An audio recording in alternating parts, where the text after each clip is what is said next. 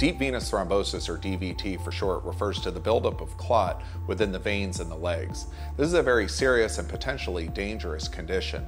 It's also remarkably common, with an estimated 300 to 600,000 cases occurring in the United States annually, and it's associated with up to 100,000 deaths per year, typically occurring because these clots in the legs travel to the lungs in the form of a pulmonary embolism.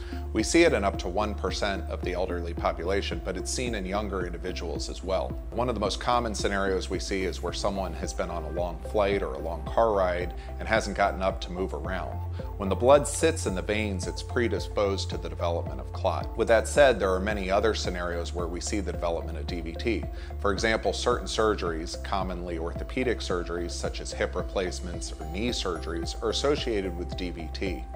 There are also medical conditions such as cancer that predispose someone to developing clot in their veins. There are other conditions such as pregnancy where a patient can be predisposed to developing clot. And sometimes people develop clots in their legs for no known reason and they're later discovered to have an abnormal clotting disorder that was the causative agent. The symptoms of DVT are variable, with up to 50% of patients being asymptomatic.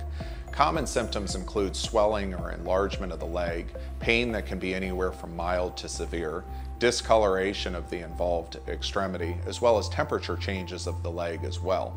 Sometimes patients will notice abnormal veins in their legs that they hadn't appreciated previously. We have a variety of tools that allow us to treat DVT. Specifically, we have devices that physically remove clot and others that dissolve clot.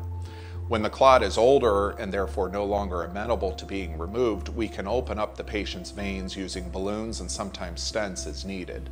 What is universal to all of these treatments is that they are minimally invasive and that we can perform them on an outpatient basis. There is no surgery involved and therefore the recovery from these procedures is very quick. It also limits the risks associated with these procedures.